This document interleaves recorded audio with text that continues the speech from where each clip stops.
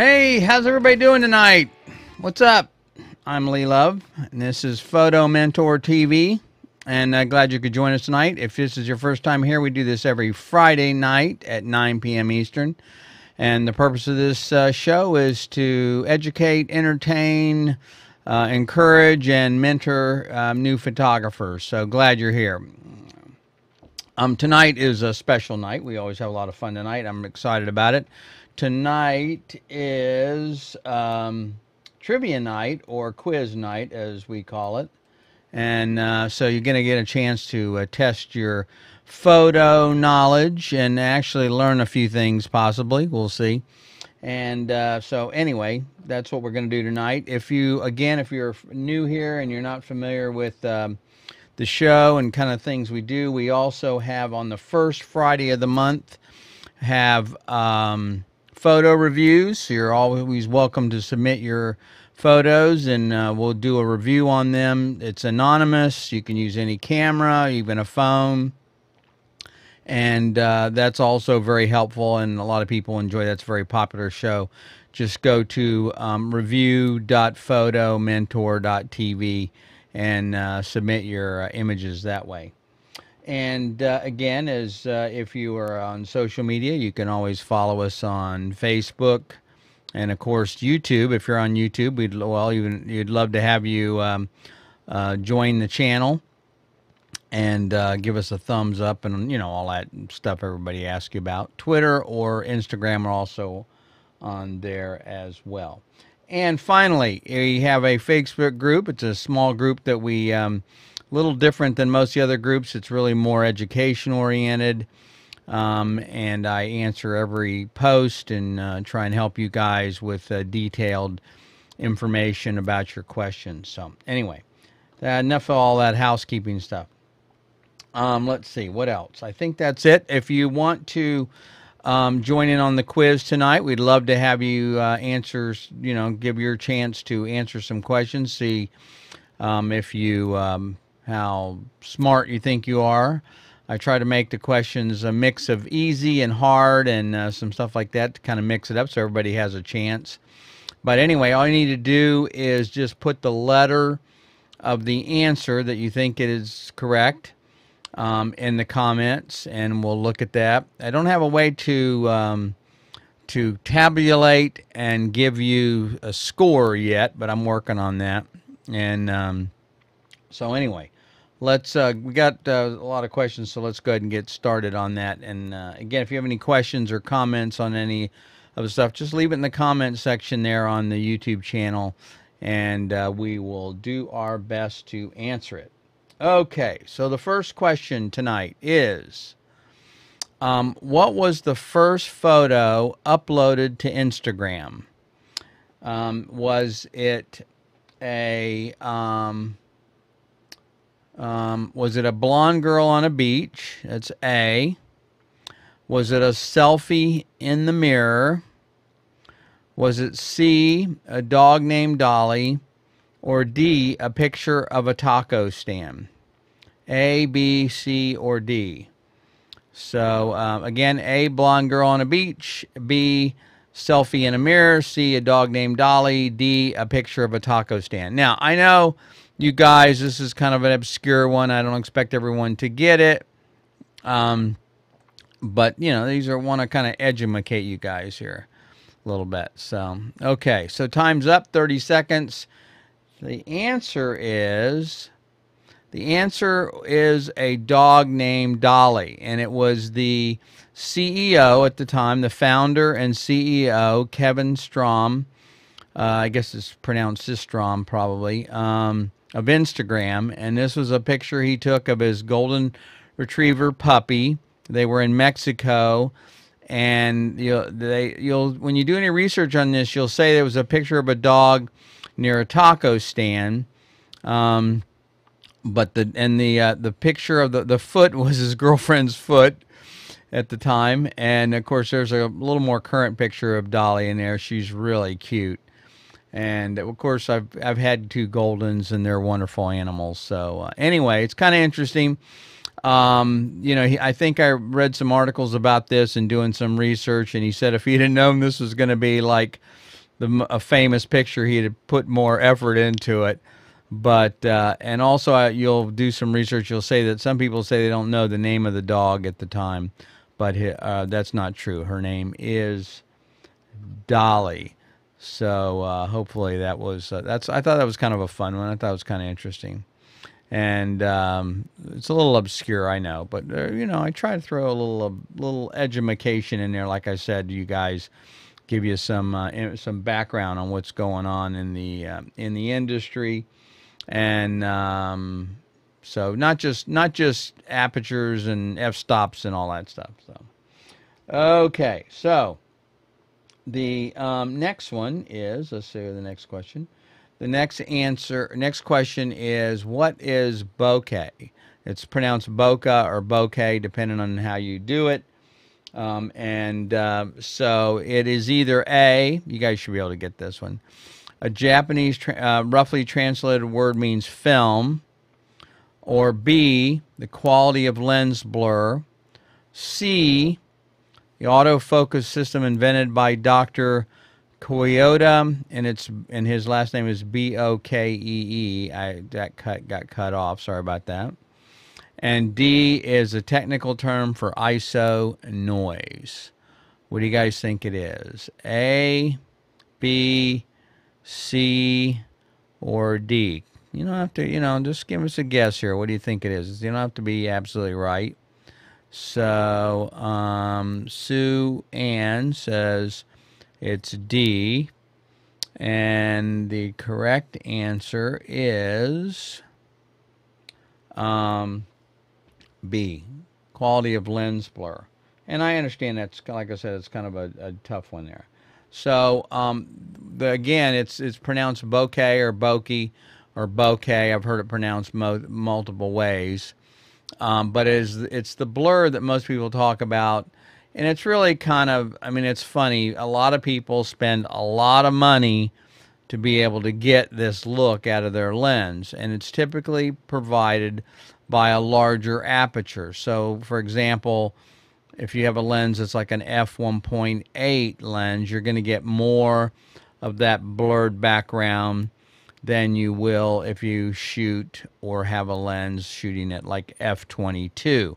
So the smaller the aperture, the less bokeh or bokeh, and um, the wider the aperture, the more. Now, there's also a couple other factors that you know, if we want to get too geeky here, but just kind of give you some background on this. There's the also the size of the sensor has an, a little bit of an effect on it.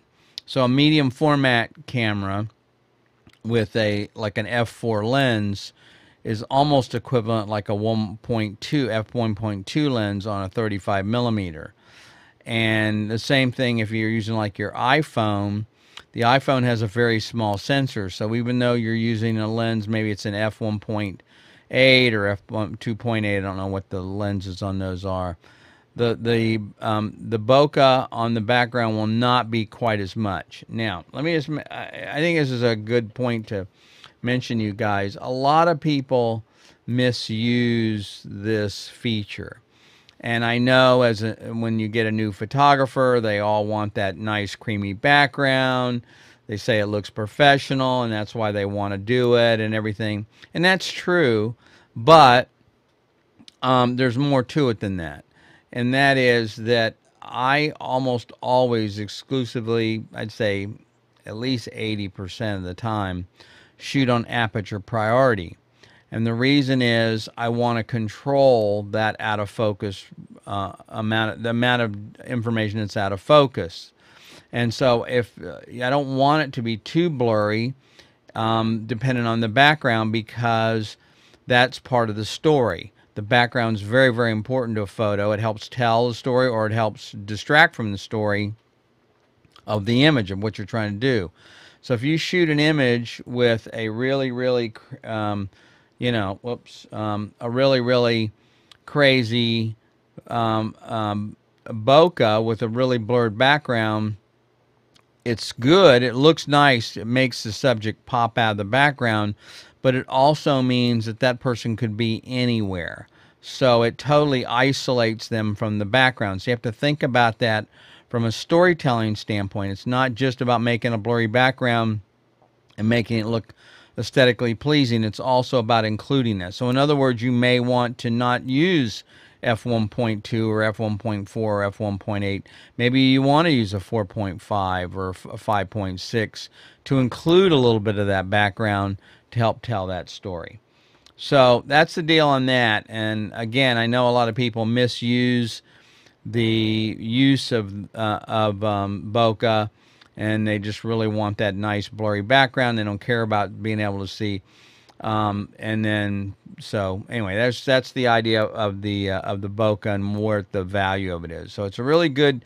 It's one of the most creative tools we have in photography because it allows you to determine your foreground, your middle ground, and your background, and being able to tell um, what's in focus and what's not. I'm going to get into that. Actually, we have a question talking a little more about that in a slightly different way. Okay. So the next question is um, During the 1800s, what was the most popular subject to be photographed? A. Bicyclists. B. Horses. C, still life, or D, corpses. So, um, what do you guys think that is? Um, I got to get some countdown music here. I got to work on that. Um, so, uh, bicyclist is A, horse is B, C is lifestyle, and D is corpses. Now, why you'd want to photograph corpses, I don't know. But um, so any guesses there? Okay, got a few. The answer is, believe it or not, D, corpses. and the reason, which is kind of an interesting one, and this is, you know, I actually, you know, a lot of these questions I know, obviously, because I make up the the answers and stuff for them and, and create them. But when I go to do the research on the topic, so that to give you more background and educate you a little bit on how these things work, I always learn something.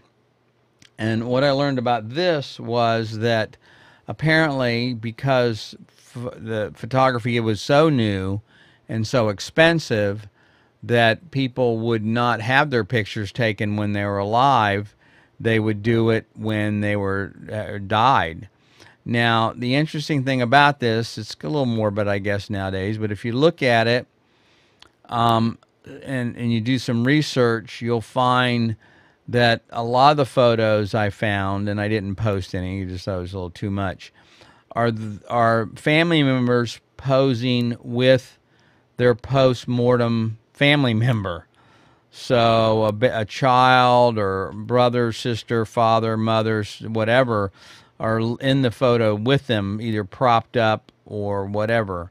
And so it's a little odd, I would admit, and um, not quite sure uh, how that works. But anyway, so and anyway, one of the things I found out was that apparently these are very, very popular photos if you can get a hold of them, and but there's also some people saying that they are a little bit fake too, that not all of them are real and that some of the people posing the photo were alive, which is kind of strange, even more so. Anyway, so uh, that's the deal on that. Again, a little bit bizarre, I would say. So, yep. Um, okay, so the next one is What year did Adobe introduce Lightroom? Okay. Was it A, 2007, B, 2017, or C, 1998, or D, 2010? Again, I know this is one that's kind of a, a little bit obscure, so I would imagine too many people will get this one. But um, I was a, a, uh, Lightroom user, actually, of um, version 1.0, but I was using a product on the Mac called Aperture at the time, and it was very very similar. And then uh, Photoshop came out, uh, Adobe came out with Lightroom, and honestly, it was just it was bare minimum. I mean, it wasn't nearly as good as Aperture was, but eventually they kept adding to it and adding to it, and it got better and better. So the answer on this one is A, um, 2007. And the deal was, it was kind of interesting. That was a code name Shadowland. And the this is a, uh, a screenshot of the original web page from Adobe in 2007 and in fact if you look on the right there it'll tell you thank you Lightroom beta participants. So they had a list of they this was unusual for Adobe to do beta public beta but they did with this product and um, one of the original developers Mark Hamburg he'd been with the company for a while and the code name Shadowland was a reference to a k.d. lang album. Um, and then they also brought on another engineer shortly after they started the project, called um, who had who I'm sorry um, there was he, they didn't list him here, who was a veteran software. He'd been there with 1990. So these pieces, I think he had joined right around the time or was very close to the time that uh, the original developer um, Thomas I'm gone blank on his name right now, also joined. So anyway, 2007 is when Adobe Lightroom was first introduced, and if you look down, the introductory price was 199, um, which was kind of interesting as well. So anyway, that's the deal, and on that, and when um, pho- when photo, or excuse me, Lightroom was introduced. Okay. So, next one is which of the following color spaces is not used by digital cameras? Meaning, so a color space um, or color gamut is, how the, the camera or device uses or creates its own color. So there are four popular color spaces that are used um, sRGB, I'm sure you guys have used familiar with that. ProPhoto, which you may not be familiar with. Now, this is not the same Profoto that you think of when you think of lighting. That's spelled with P R O F O T O. Um, then there's CMYK and RGB. So, which of these is uh, not used in digital cameras? A, B, C, or D? What do you think it is? All right, and the answer is C. And the reason is because um, CMYK is used for printing. It's typically, um, you know, you not. I mean, there's still there's some RGB printers, but if you're talking about real four color printing process, that stands for um, cyan, magenta, yellow, and the K stands for black. Well, CMYK is a subtractive model, meaning when you put all the the colors together, you get black. But RGB, or uh, a, you know a source like a monitor or or most modern RGB printers, are an additive process. So when you add um, white, a red uh, RGB, red, green, and blue, you get white. So there are two different systems. One is for, um, again, one is for printing, and typically one is for uh, monitors and digital cameras. So that is the um, story on which one is not available for a digital camera. Again, it would typically be the other th- three would be, but CMYK is for inking for printing. So anyway, you won't find that the same way. So, okay, see if I have any questions here about this. Okay. So the next one is see what else we got here. The next question is what is the best definition for composition in relationship to photography. So we're going to get into a couple of these here. This is a little artsy uh, related. A, a work of art. B, compelling arrangement of elements in a frame. C, a perfectly exposed image. Or D, the symmetry of image placement. So this is a little bit of a trick question, by the way. What is the best definition for composition in relationship to photography?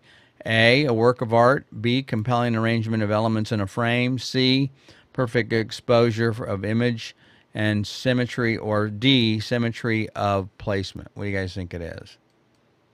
And Sue Ann says B, and she is correct. So that would be the um, correct image placement uh, or um, compelling erase, uh, image of elements, placement of elements. So there's a number of different elements that you would use to create composition, uh, line shapes, things like that. And by using those, those are a language, and by using those to position or to use in your photos, you'll find that they um, can be very pleasing to the human brain, whether you know it or not. So again, it's a language issue where just like I, the analogy I use is if you're trying to learn French or Spanish or German or whatever, you have different, you know, or English, you'd have, you know, nouns and prop, um, purpose, prop, prepositions. You can't see. I need to take a language course. Prepositions and um, verbs and things like that. It's the same thing in learning um, art, design, photography. Those elements, um, there's elements there that you would use as well.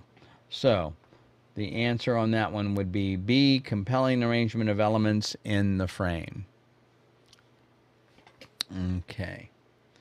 Um, let's see here. So the next one is.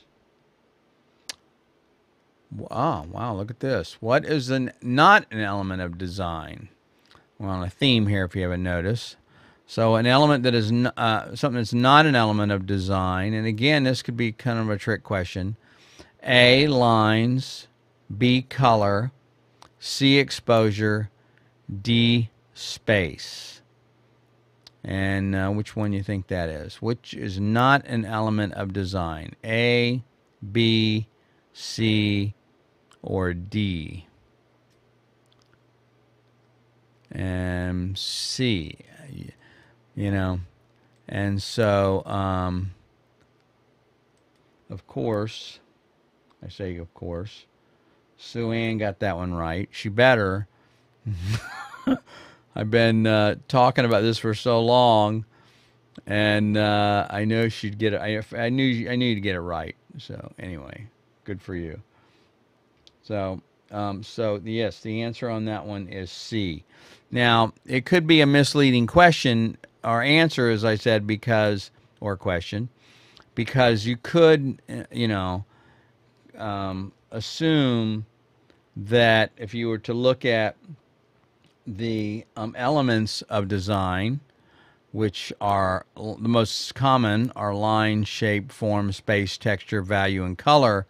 You could make an argument that value would denote exposure, but exposures, and it's really, and again, if you want to get technical about it, you could say that exposure is the lightness and darkness, but generally exposure is lightness, darkness of the entire image, but uh, really it's not one of the seven. Exposure is not one of the seven because you wouldn't, if you were an artist and you were drawing with pencil, for example, or charcoal, you could still control the value and that would not be considered exposure. So, um, anyway, so in the elements of art, we're talking about um, the, and it, this is something that I discuss a lot if you've watched this channel at all. And I really kind of harp on it, quite frankly. And the reason is because the elements art are very, very important. Number one, you can't really create an image without using some of these, right? I mean, a line, shape. I mean, if you take a picture of a road or even if you're a landscape photographer, you're going to find, or portrait photographer, one extreme or the other, you're going to find that you're going to run into using these one or two more of these in your photos, whether you whether you realize it or not. But again, as I was referring to earlier, they're really elements that help you create and connect with your audience because they're used to guide the viewer's eye. And that's something that's very, very important in a photograph that so many people don't do is they don't realize that uh, something that I recall I use is I refer to it as the hero. What's the most important thing in the shot? And that's what I want when I look at my photos and I'm going to crop them or whatever. Like, well, you know, what did I miss here? What's the most important thing that I need to make sure is included in here or that I want to draw the viewer's attention to? And you use these seven elements of design to be able to do that. To do that. So a line of um, you know diminishing return kind of thing. Lines would be one. Shape, light, color um, could all be used to um, affect where the a human eye goes um, when a, they see an object in a in a frame. So that is why it's so important to remember um, these seven elements in the study. Now you can break it down even further because if you and we've done this before, we've done a couple of shows. Um, one of them um, called "Learning to See Like an Artist," and then lines. There's there's a number. There's horizontal lines, vertical lines, zigzag lines, curve lines, and each of those lines have a different meaning. So, for example, a vertical line means um, strength and um, height, of course. A horizontal line is more calming. A curved line is more calming and, and pleasing than that. A zigzag, line uh, kind of in, denotes or the, is interpreted by the human brain as chaotic. And so, anyway, it just depends on how these shapes, lines, forms, whatever are used and to communicate your message. So, anyway. Okay, so. Okay, so your next question is um, um, How do you create a blurred background without a wide aperture? So let's say you don't have a camera with a f uh, or a lens with an f 1.4, 1.8, whatever, but yet you still want to try and get some of that background blurred to isolate the subject from the background. So, would you do that with A? You'd zoom in with a telephoto lens. B, you'd increase the ISO, which is the sensitivity of the camera. C, you'd shoot on RAW, which is a format you'd use to um, convert the image. Or D, you'd move closer.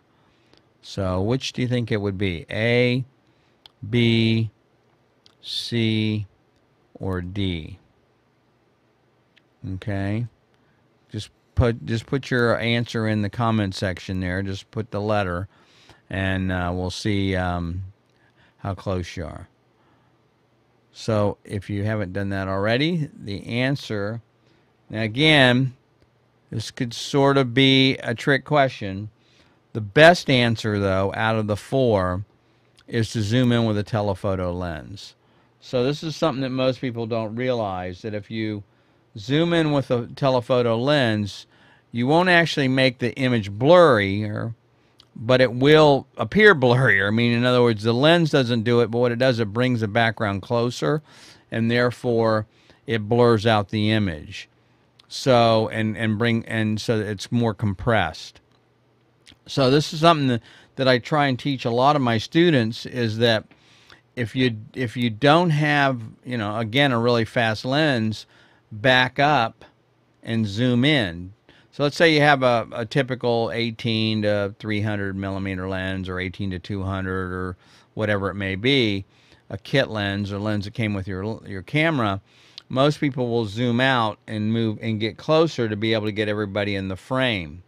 Well, if you want a more pleasing background, you want to blur that background a little bit because most of those lenses are, you know, the minimum when you're at 18 millimeter, the widest aperture is 3.5, and when you zoom in, um, they close down to 5.6 or 6.3. And so if you back up though and zoom in, even though that aperture gets smaller, you'll get uh, the effectively uh, a um, a blurrier background. Now the other thing most people don't realize is that you can all, and that's why I said it's a little bit of a trick question because um, you can move closer as well. The closer you get to an object, um, will be the um, the more the blurrier the background will be, uh, or the shallower the, the depth of field will be. We're gonna that's also we're gonna talk about that one of the questions coming up. So anyway, but um, so it's not just about the aperture is the point, and I think a lot of people think that they think, well, I have to get this really expensive lens, f2.8 or faster to be able to get a blurry background and you, yes, that makes it easier, and you have more light when you do that. So there's certainly a value in that. But as photographers, our job is to solve problems. We don't always have everything we need. In fact, again, if you've listened to me at all, you'll say I always talk about the photography is totally a compromise. We never have enough time, we never have enough gear, and we never have enough money. And so the trick is how do I make the best image I can given I don't have one or more of those things. And so to do that, that's sort of an example where if you take your lens and you zoom out or you back up and you zoom in, you can still get a nice, pleasing um, portrait without having to have, if you don't have a lens, maybe you dropped it or broke it or it's in repair or you don't have, own one. It's just too expensive. So you can still do, you can still get that effectively that same look. So, okay. All right. So, the next one is what is the key feature of a macro lens? So, a macro lens is a lens that lets you get um, shoot um, close up. So, is a macro lens sharper than a regular lens? Is it B gives you a one to one magnification? C, or most of them prime lenses, meaning there's no zoom, or D, all of the above. What do you guys think it is? Um, so, um, hey, Sue Ann, somebody said, sent me a message saying they can't figure out how to watch the show tonight. Um, maybe you could post. I thought that, you know, there's a link right there on the, um, on the Facebook page if that's if they can't figure it out. Maybe you could post something on Facebook. I thought I had done that though, just reminding people to go to YouTube and watch the show if they want. Thanks, I appreciate that. Um, so anyway, um, so what is the key feature of a macro lens? A, it's sharper. B, one-to-one magnification, typically. Um, C, prime lens. D, all of the above. And of course, the answer is D, all of the above. So a macro lens, if you're not familiar with the macro photography, is um, a lens that'll let you get extremely close-up photography. So um, what happens, most people don't realize, is every lens has a minimum focusing distance. Um, and to do that, um, to get that, so in other words, if you get too close, even with a 50 millimeter lens, for example, it won't focus within a few feet. And so the difference, one of the differences in a macro lens is it lets you get very, very close, with some of them within a couple of inches of the subject um, to be able to photograph them. And that gives you, again, a more magnification. So one of the things that we talk about is a one-to-one magnification, and that's something you're looking for um, because that gives you a, um, a reference or a size of an image that's equivalent. One to one means it's going to fill basically the entire frame of the sensor, and that's what you want. Now, you can get some macro lenses that are not like that. There's some inexpensive zoom lenses that have what's called a macro feature, and if you flip it into macro mode, it lets you get a little closer.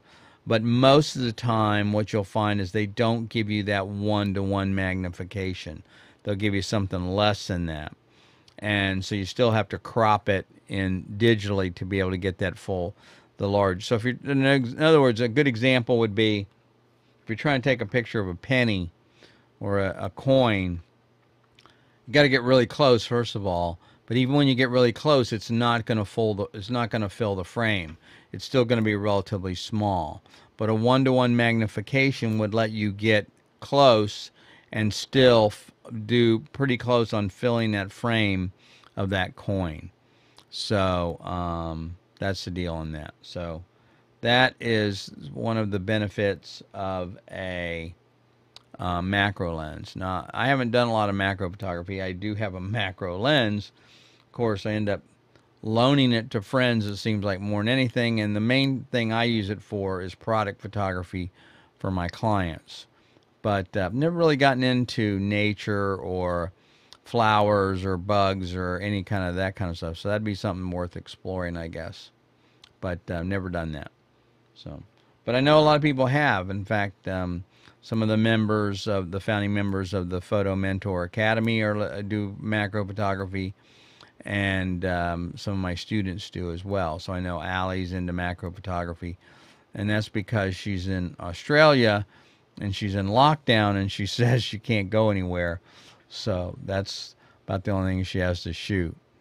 Um, and um, Claudia, um, one of the people that I've mentored out of uh, Romania, has gotten some amazing um, macro photography. And what surprises me about the work she's done, she's using. She originally started out using like a 55 to 200 millimeter kit lens and the pictures were just stunning. I was really impressed. So she didn't even have what's a macro lens. She was just using her kit lens, and yet still came away with some phenomenal phenomenal res, uh, results. So anyway, that's the deal on that. Okay, um, let's see here. So the next one is. Um, what does that now? You come on, you guys. You guys should be, and I've got a misspelling in here, I guess instead of stated, it should be state. It should be state. Should be depth of field. Um, acronym for depth of field. This, I don't know what that's supposed to word supposed to be. Stand for, I think is what I. It's S T A N D is what it should have been. So what is the acronym for DOF? Um, did I just give the answer away? I think I did. um, oh well. Anyway, A digital optical focusing. B depth of field. C, distance of focus, or D, data over fiber. What do you guys think that is? It's you know it's funny. It's one of those one of those acronyms that becomes part of your language, and um, so I might have already given that one away. But um, so if you haven't guessed it, let's see here. Um, let's make sure. There's a little bit of delay between when my timer and the timer on YouTube, so I wanted to give you guys a little extra time. Okay, so the answer is it's the distance depth of field. In other words, all right. So um, did I give that? So yeah, it's right exactly depth of field. So it um, it's the distance between the nearest and the farthest objects that are in focus. Now in this one I got a little crazy because this is an important topic and a lot of people don't understand it. So I got a couple extra slides here I created to show give you some more information. But one of the things that's important to note on here is the last thing, almost the last thing I said on this is that the depth of field is calculated based on the focal length. Okay, in other words, a 50 millim, or let's say a 24 millimeter lens is going to have less depth of field, meaning, um, I'm sorry, more depth of field. Everything's going to be in focus on a 24 millimeter lens versus a 200 millimeter lens. So that's just the nature of the optics. So the length, the focal length, is going to determine the the depth of field, how much is in focus and how much is out of focus. A wide angle. So if you're doing video, for example, and you're walking around, you're trying to show people you know, on a gimbal or not a gimbal, the wider the lens, the better you are because more things are going to be in focus. That's the point. You're not trying to have to rack focus. Um, the other thing is, is the distance to the subject, and that's what most people forget. The closer you are to the subject, the less depth of field you're going to get. So, um, and then of course aperture. But everybody that's starting out seems to focus just on aperture, and they don't realize the other two elements that play into this.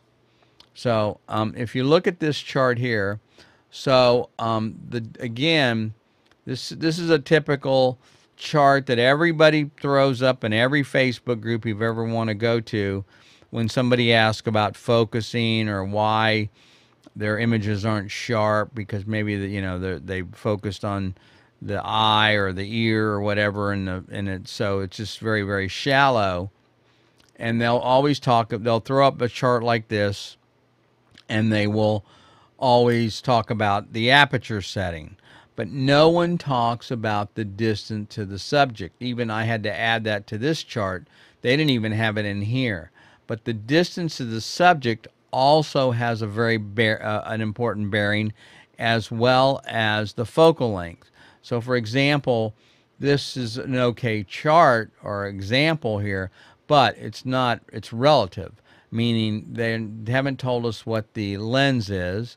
So if that's a 200 millimeter lens, yes, you're going to have a narrow depth of field, but if the one on the bot, eh, but if that same lens with the same aperture setting is um, at 2.8, and I'll show you an example of that as well, but it's a 200 millimeter lens, the depth of field is also going to change. So there's some really good calculators that you can get for your phone that will do that. You put it in the camera you have because the sensor size also has a has a distant has an effect on this, and so um, the um, um, so that has an an effect on it, and then also again, so it's not just the aperture. Uh, there's more to it than that, and um, so that's and I have one more slide I want to show you here. But before I do, I want to welcome Edgar. Hello, Edgar. Thanks for joining us. And yes, the answer um, on that one is B. So good, good guess on that one. So, and again, one more. Let me give you one more here. So uh, here's a picture by Gordon Gaines. Now, Gordon had posted this picture on one of the Facebook groups, and I thought it was a really good example. I hope he didn't mind me using it. He's asking, he says, "Hey, uh, you know," he tells about what his settings were. So, should my pictures be out of focus? because of the narrow depth of field at 2.8. He shot this at 80th of a second at f2.8 at ISO 3200. And he thought that that he should have missed the focus. He didn't understand why everything was in focus. And the reason is exactly what I'm talking about here. The reason is it's the distance it's also the distance of the subject, not just the aperture. So he's assuming that 2.8 is the real key here and while that's important, it's um, the real issue here, and the reason it's everything's in focus is because of, of the distance and also the focal length. So what happens is, okay, if you think about it, if you're doing landscape photography, right, and you're photographing and you got the mountains and these trees that are like miles away, they're always in focus, right? There's no way to get them out of focus practically. Well, why is that? Well, the reason is because the lens has a focus point, and maybe it's going to focus out to, let's say, 15 feet. And then after that, everything after that position is going to be in focus. It's called infinity.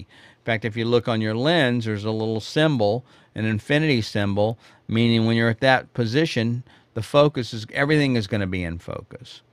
So that's what's happening here is that because he's far enough away, even though he's at 2.8, everything at that point is going to be in focus. I mean, you know, within reason, you can see the background's a little bit out of focus, but not much.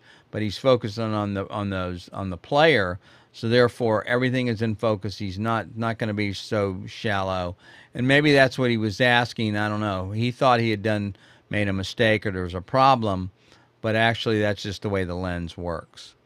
So hopefully that is helpful. Okay. All right. So if you guys have any questions about that, I'd be glad to go into that. All right. So the next question is this is actually our last question for tonight. And the term that defines a relationship between an image's lengths. Okay? The image lengths mean height and width. So, that would be, it's called perspective control. It's called tilt shift adjustment, or it's called aspect ratio, or it could be referred to as chromatic aberration. So the term that defines the relationship between an image's height and width, what do you guys think that is? A, perspective control, B, tilt shift, C, aspect ratio, or D, chromatic aberration. Got it. Got it. Come on, Edgar, throw one in there, buddy. Let's give us what you think that is. It doesn't matter if it's right or not. This is all about learning. Okay. Anybody else want to throw one in there? All right. So nobody else is going to be brave enough to throw another answer in other than Sue Ann. So Sue Ann says she thinks the answer is C. And the response is yes. Ding, ding, ding, ding. You are correct. So, aspect ratio has to do with the height versus the width. So, I see this problem a lot, by the way. People will take a photo and they'll say, hey, I want to print this as an 8 by 10, for example. Well, depending on the on the sensor and the camera it was focused shot on, then it may not be the same aspect ratio of a 8 by 10 frame.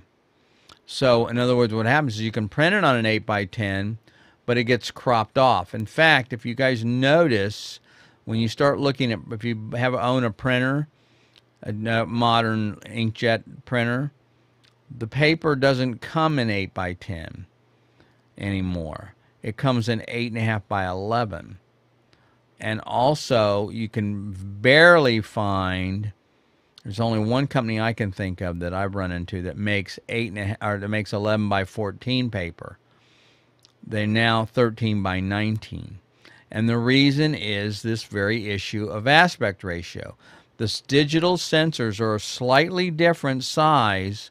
They're close, but they're slightly different size or aspect ratio than a film sensor or a piece of film is. So therefore, you can't print a 11 by 14 per se, uh, depending on the frame on the camera, because it doesn't fit. You're going to either get white around the border, or you're going to get you have to zoom crop it to get or trim it to get it to fit. So aspect ratio is a very important part. I was going to say aspect Aspect ratio is a very important part of your photography, especially if you're printing. And uh, and if you crop, you know, it's nowadays we're so used to just cropping whatever we want, putting it on Facebook or on Instagram or some other site, and you don't worry about aspect ratio. Um, well, actually, on Instagram you do because they annoy the hell out of you by making sure the image is vertical uh, or square um, and so that is, there's a good example of where you have to have the right aspect ratio for your image. And if you crop it and you don't crop it correctly, when it, when you upload it, it's going to trim it or cut it off or zoom it in, and you're going to be missing part of the image. So aspect ratio are the basically the two numbers that define the height versus the width then they're not actually values per se, or they're not actually, you know, um, don't represent anything other than the ratio between the two. So, for example, I'm sure nowadays most people are familiar with HD television. So, HD television is now 16 by 9 aspect ratio. But the old um, um, television, or we grew up, that I grew up with at least, um, was a 4 by 3 ratio. Okay, so it was a little bit wider than it was taller, but not by much. But obviously, a 16 by 9 ratio is much, much wider um, for that cinematic look. So that is the deal on that. That help you guys? Hope so. Um, So, I think that was, let me look here. I think that might have been our last question. Let's see. Yep, that's it. No more. So, so I don't want to bore you guys too much, but hopefully that's been uh, helpful. And again, the idea here uh, that we do on this show is to try and educate you and, and answer your questions. Um, and it's about you, not about me. And um, you can look up my background if you want, but I'm a commercial photographer. Been doing this a long time, way too long actually. Um, and uh, I enjoy educating you guys and helping you and giving you information, accurate information on what you can take to make your photos better and also to make you more creative. So you'll find a lot of stuff I talk about here is about the creative aspects of photography, not the mechanics or the you know the what I call the techno babble. I mean that's that's easy, quite frankly. Anybody can teach that or talk about it, and um, so um, you know. Anyway, I think that that's helpful instead of you know again it's that stuff hasn't changed in a hundred years in my opinion. And uh, thank you, Sue Ann. You're welcome. Uh, appreciate that. It's awful nice to hear. Um, but um, anyway, so that's what we're doing here. So again, just kind of quick reminder, if you guys are interested, um, we have um, on the first Friday of the month, I said we have the photo reviews, and um, so um, uh, again, doesn't doesn't matter how long you've been shooting. It's not about likes or or my, I mean whether I like the photo or not. It's about does it work technically, artistically, and does it have a story to it? Any camera, doesn't matter if it's a phone or whatever you have, and doesn't matter how long you've been shooting. They're all the um, all the reviews are anonymous, so nobody's embarrassed or anything like that, and that's not the point. Point is to give you real feedback uh, on something that can help you with your work. So just go to review.photomentor.tv. That happens on the first Friday of the month. So I think that's November 5th. I think I looked up the last one. So don't you don't have to wait for the last minute, and you don't even have to be there to watch it if you don't want. Um, just submit your work, and it'll be reviewed. You can go back at any time and uh, and look at that. And uh, Edgar, you're welcome. Thank you very much, and I'm glad you could uh, stop by tonight. Um, again, if you are interested in social media, which you probably are, um, you can uh, follow us on Facebook, um, Instagram, Twitter and love to have you. Uh, really appreciate if you guys would um, subscribe to the channel and uh, either leave a comment or like the channel. trying to get a um, couple of extra channel uh, subscribers there. have a lot of fun doing this, and I hope you guys enjoy as well. Again, and lastly, is if you're interested in joining the Facebook group, go to photomentor.tv slash join, and I think you guys will enjoy that as well. So, hey, listen, thanks very much for everybody joining. I hope you got something out of this, and we will see you um, next week.